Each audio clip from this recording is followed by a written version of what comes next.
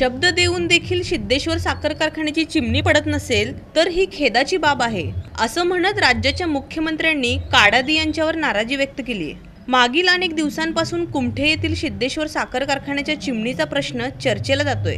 केंद्राच्या उडान योजनेअंतर्गत इतर शहरांप्रमाणे सोलापूरची देखील विमानसेवा जोडली जावी असे नियोजन आहे. पण साखर कारखान्याच्या चिमणीचा अडथळा निर्माण होतो आहे. विमान प्राधिकरण आणि शासनाने सिद्धेश्वर साखर कारखान्याच्या संचालकास चिमणी पाडण्याचे आदेश दिले होते. पण गळत हंगाम होताच चिमणी पाडतो असा शब्द काडादी यांनी दिला होता. तरी देखील चिमणी पाडली जात नाही ही खेदाची बाब आहे असं म्हणत मुख्यमंत्र्यांनी काडादी यांच्यावर नाराजी व्यक्त केली. नाही ते फक्त उडानमधनं ते फक्त चिमणीमुळे राहिलेलं आहे. बाकी उडानमधनं बाहेर जाण्याचा विषय नाही.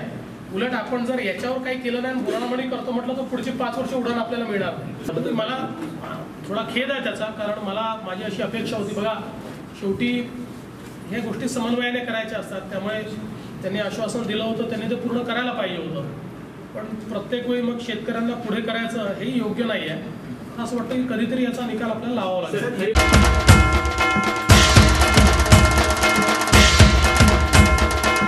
पंढरपूर तालुक्याचे ऋषितुल्य नेतृत्व व पांडुरंग साखर कारखान्याचे अध्यक्ष मान्य सुधाकरपंत परिचारक मालकांना वाढदिवसाच्या हार्दिक हार्दिक शुभेच्छा.